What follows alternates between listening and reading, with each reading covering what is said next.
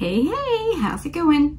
If you're new here, my name is Jan and I love makeup. And if you're not new, thanks for coming back. I really appreciate you. Today's video is basically a review of my previous month's purchases. I like to call it all my thoughts on all I bought because it's super fun and it kind of makes me happy. So anyway, uh,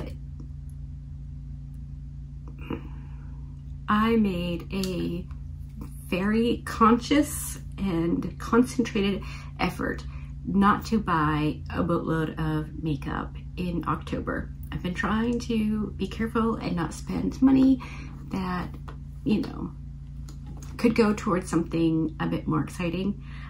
I know, more exciting than makeups, but uh, we're talking about vacation money. So, you know, been buying less makeup so I can go on vacation. Anyway, um, I purchased three things. Technically, I purchased a couple others, but I haven't had a chance to use and review them yet, so we're just gonna tack them on to November. And that should be fine. And we're also going to talk briefly about one from September, August. Okay, so if that wasn't confusing enough, you should stick around. Uh, but let's get into all my thoughts on all I bought.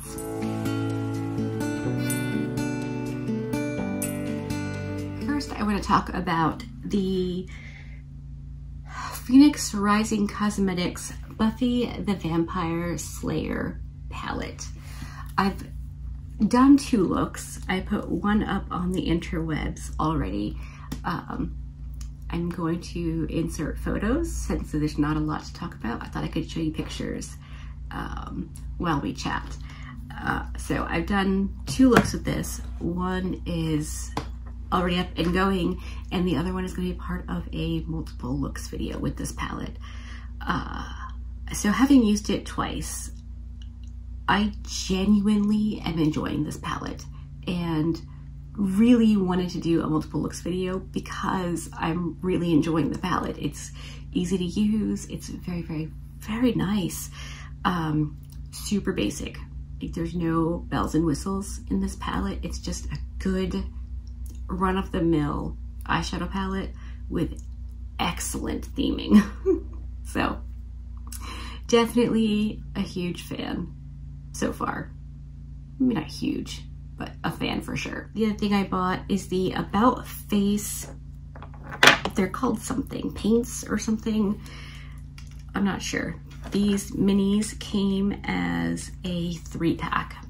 So we've got pink, blue, and green. I used the blue one in combination with a Nomad palette.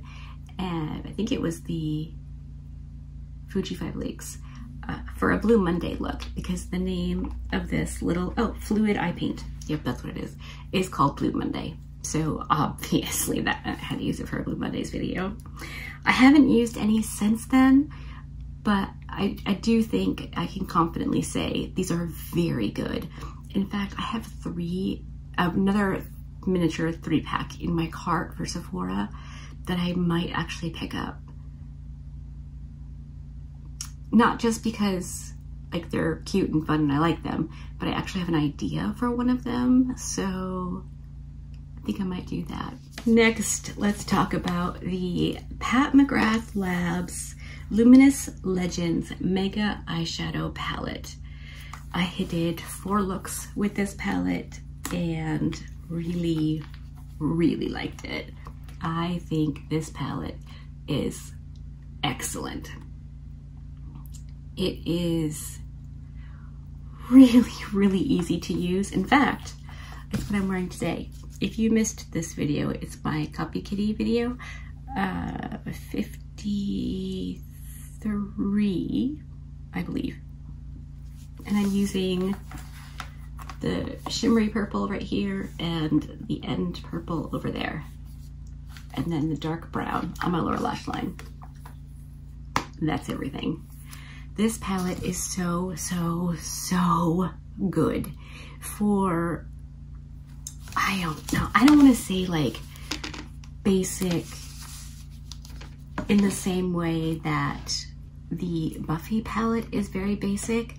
This is the kind of palette where you can use one or two eyeshadows and it just looks like a lot more, more complicated, more fussy, more eyeshadows.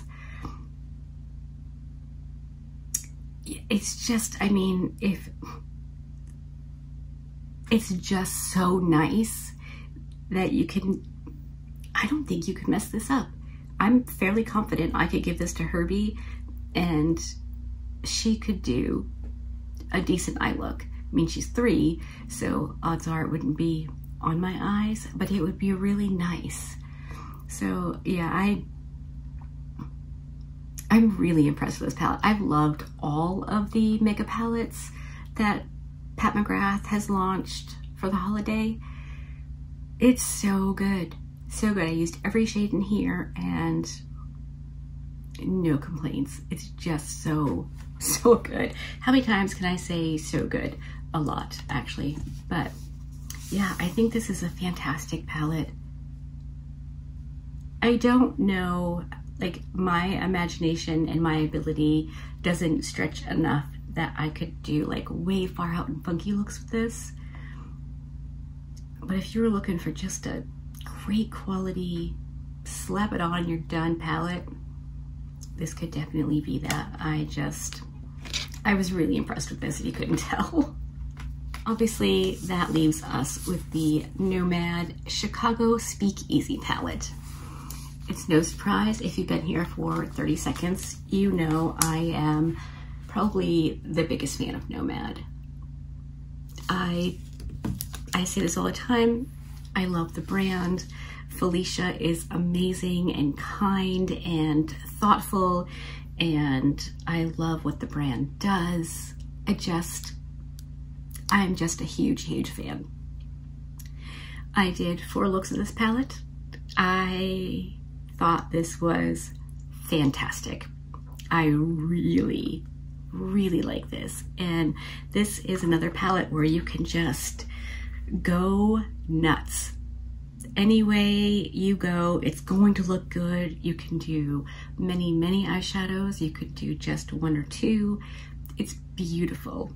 And the multi-chromes in this palette are so smooth and lovely and easy to use even on my older hooded wrinkly textured eyelids it's amazing I love this color story with my entire heart.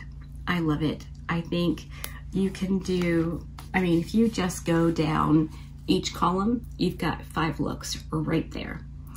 You can do uh, like a little stamp for like a quad, two mattes, two shimmers. Any four you choose would be gorgeous.